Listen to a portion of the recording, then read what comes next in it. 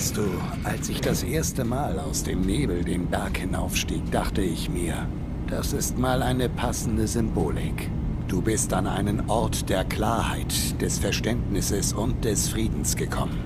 Die Syns von Arcadia heißen dich willkommen, solange du uns gegenüber offen bist. Was bist du? Ich hab's dir gesagt. Ich bin der alte Sünd auf dem Berg. Ich weiß, die Plastikhaut und die Schläuche können etwas verstörend sein. Aber das sind nur Äußerlichkeiten. Sag mir, wieso du hier bist und ich werde versuchen, dir zu helfen. Ich bin hierher gekommen, um Kazumi Nakano zu finden. Wirklich? Ich bin beeindruckt. Nur wenige würden die Gefahren einer solchen Reise auf sich nehmen, um jemanden zu finden. Kazumi ist hier. Ihr geht es gut und du kannst gerne mit ihr sprechen, wenn du willst. Aber sag mir vorher, glaubst du, dass Kazumi ein Zünd ist? Warum fragst du? Weil sie mit genau dieser Frage hierher kam.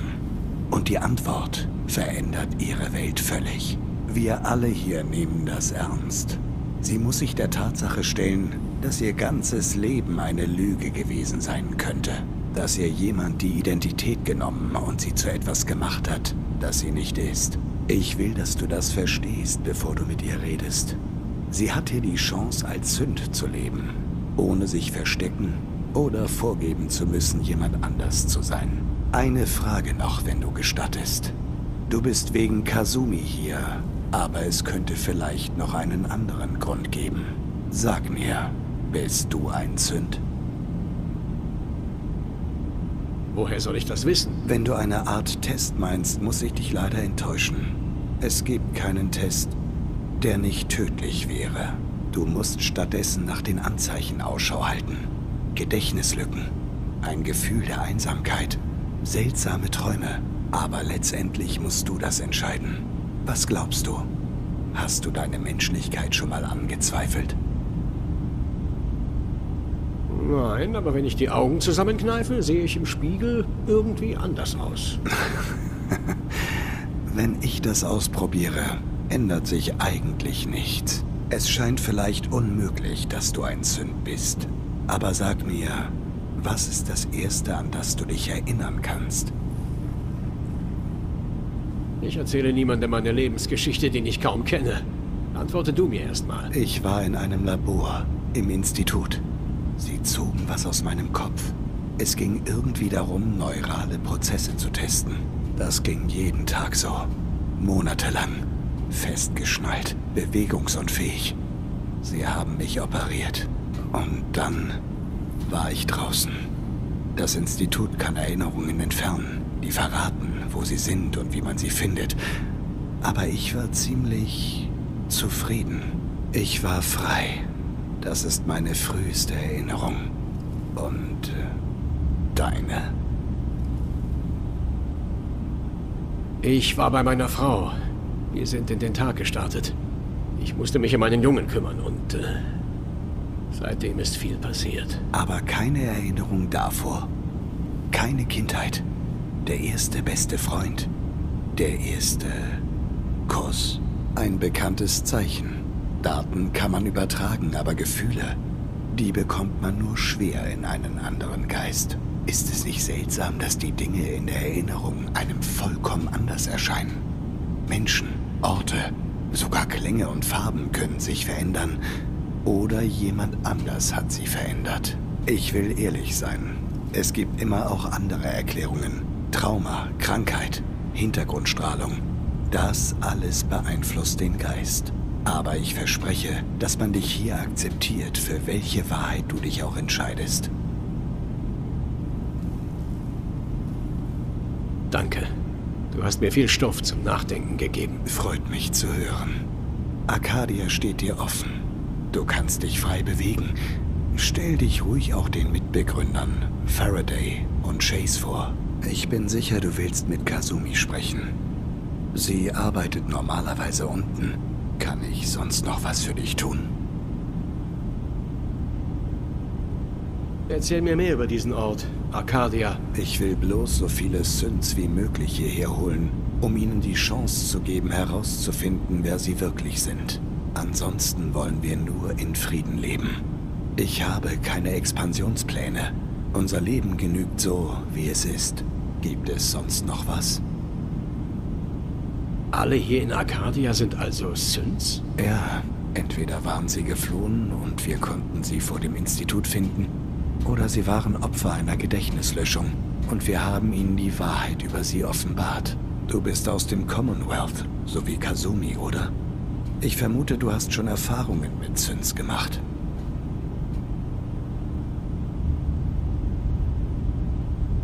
Ich möchte erstmal mehr über deine Erlebnisse hören. Nachdem ich das Commonwealth verlassen hatte, traf ich erst Jahrzehnte später wieder auf einen anderen Sünd. Erst konnte ich es nicht glauben. Ich bin ein Prototyp. Ich bin entkommen, lange bevor Synths menschlich aussahen. Ich dachte erst, die Person, mit der ich sprach, wäre verwirrt.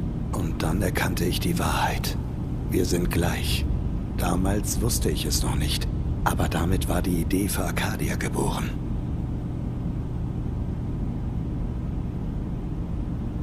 Meiner Erfahrung nach sind Synths nur Maschinen.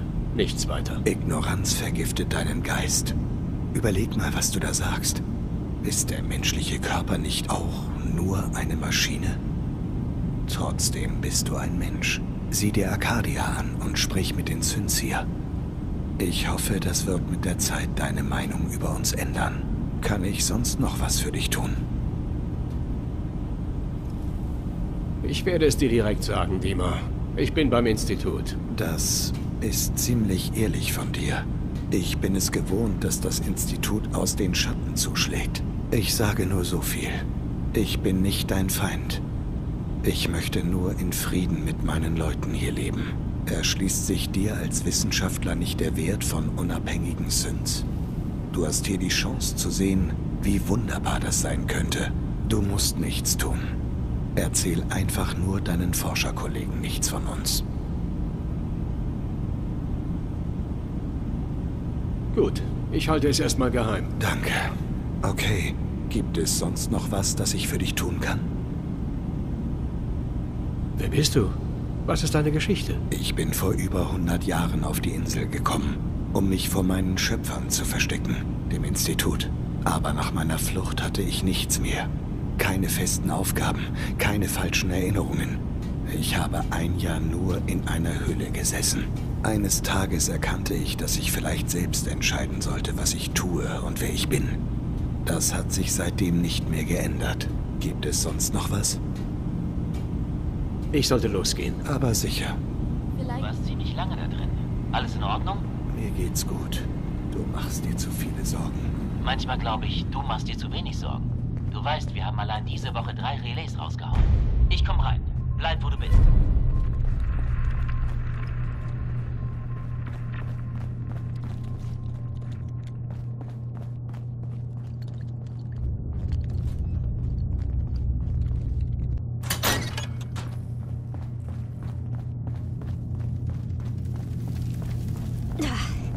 Die Schaltkreise sind total hinüber. Kasumi Nakano? Tut mir leid, ich bin gerade beschäftigt. Um sie musst du dir keine Gedanken machen. Was arbeitest du denn? Versuche nur etwas Vorkriegsmüll zu etwas Nützlichem zu verarbeiten. Also, sagst du mir jetzt, was du hier willst? Liebster Faraday, ganz ruhig. Alles wird gut. Deine Eltern haben mich geschickt. Du sollst nach Hause kommen. Sie haben was getan? Du bist so weit gereist? Wegen mir? Meine Eltern. Die Leute, die sich um mich gekümmert haben. Sie würden mich nicht zurückhaben wollen. Nicht, wenn sie die Wahrheit wüssten. Was meinst du damit? Ich bin nicht ihre Tochter. Ich bin ein Sünd. Ich dachte, es wäre leichter für sie, wenn ich einfach gehen würde. Wie hätte so ein Gespräch dann verlaufen sollen? Ich habe euch die ganze Zeit belogen? Eure Tochter ist tot und ich habe sie ersetzt? Hast du einen Beweis dafür, ein Zünd zu sein? Kleine Dinge.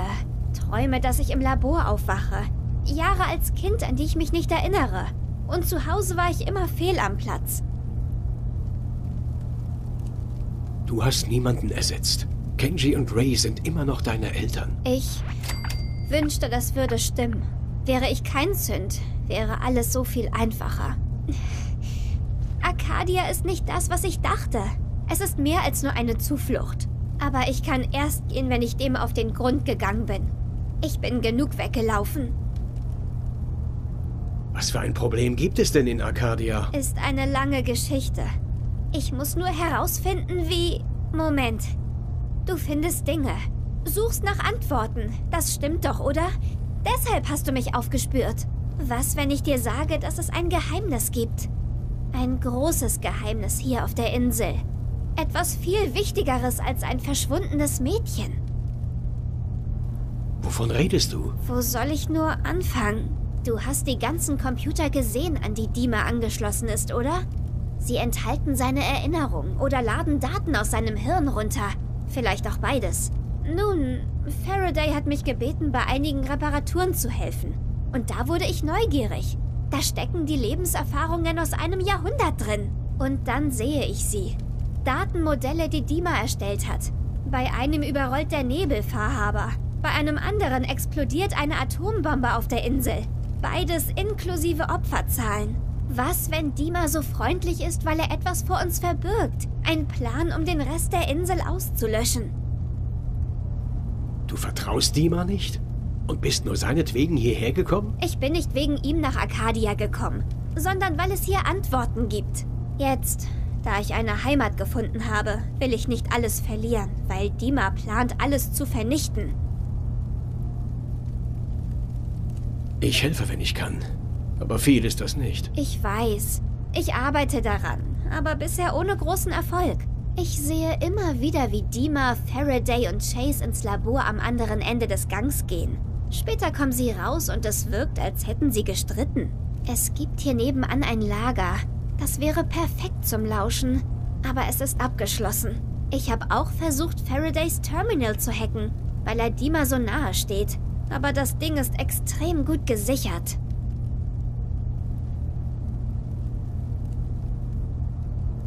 Es ist einfacher, wenn ich mit Dima rede und ihn dazu bringe, ehrlich zu uns zu sein. Okay, viel Glück. Lass mich wissen, was du rausfindest.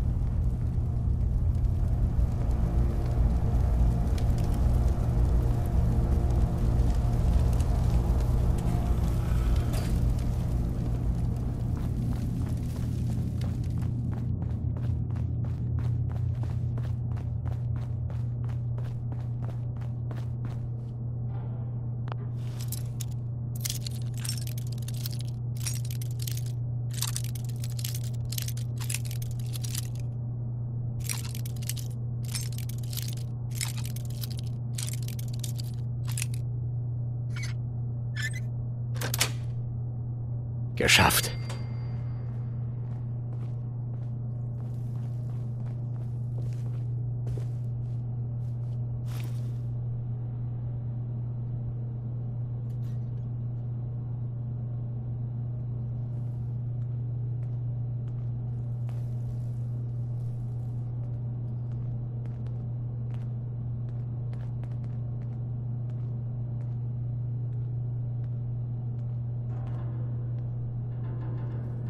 Wir müssen das ohne Blutvergießen schaffen.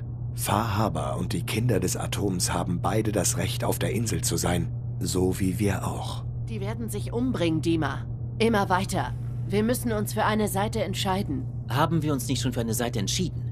Die Nebelkondensatoren zu bauen, war nicht gerade ein Beweis unserer Neutralität. Wir konnten nicht einfach zusehen, wie der Nebel die Bewohner der Insel tötet. Du musstest also den Kindern des Atoms ein Zuhause geben? Das mit der U-Boot-Basis war ein Fehler. Der Nukleus, wie sie es nennen, ist eigentlich eine große Befestigungsanlage. Fahrhaber hat sie vertrieben. Sie haben seltsame Ansichten, aber sie haben uns stets akzeptiert. Und Beichtvater Martin war ein Freund. Tja, der neue Beichtvater nicht.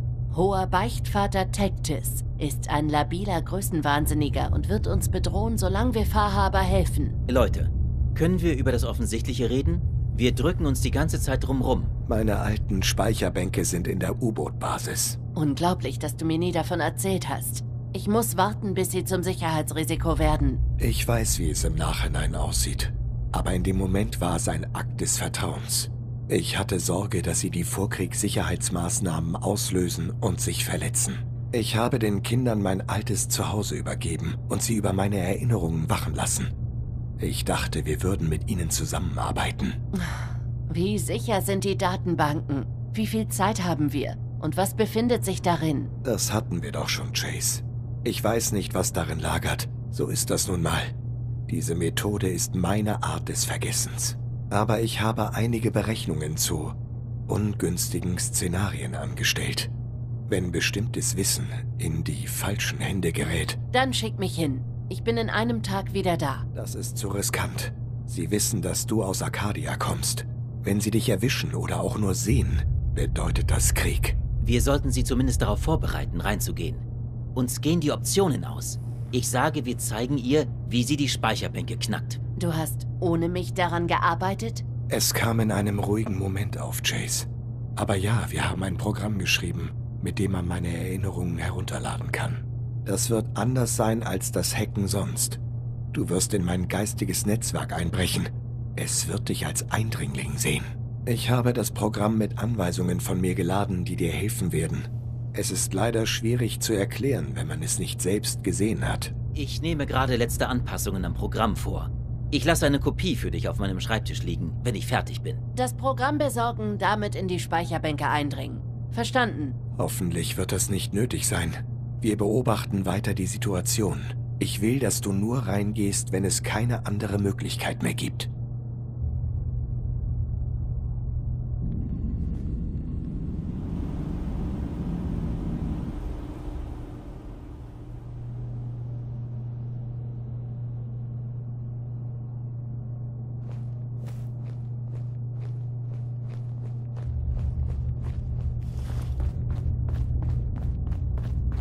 Arcadia ist weit genug vom Institut entfernt, damit wir uns keine Sorgen machen müssen, oder?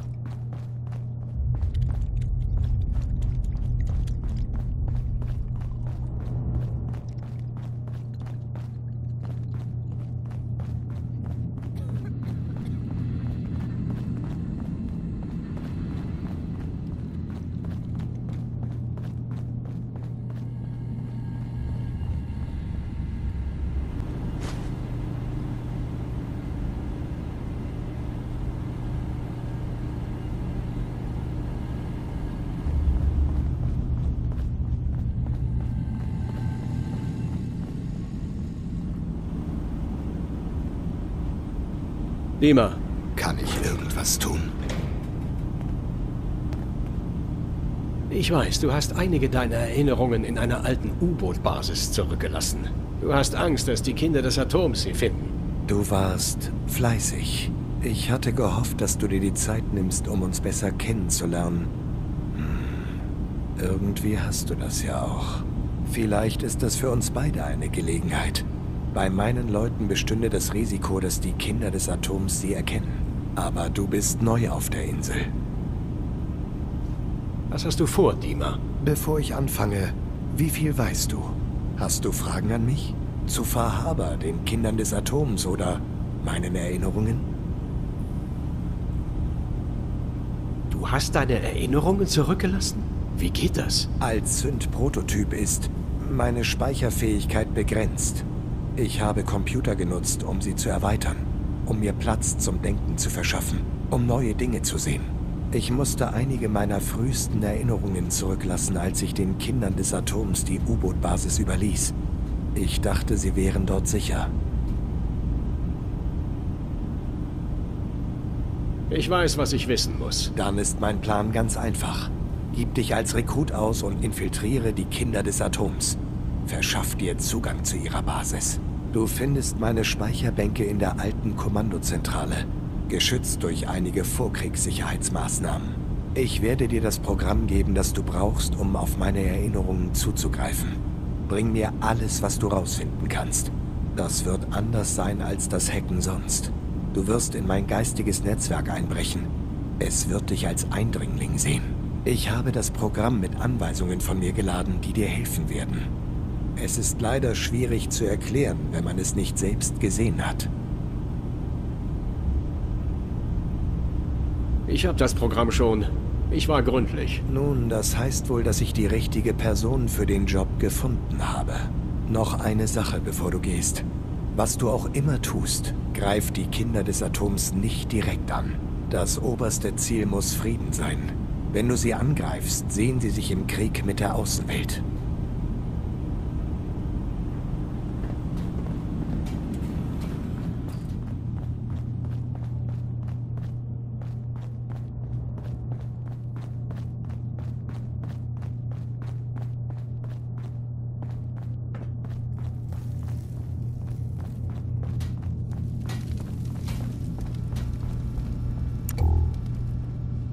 Dimas früheste Erinnerungen sind in den Händen der Kinder des Atoms. Er hat Angst vor dem, was sie herausfinden. Darum ging es bei diesen möglichen Opferzahlen also?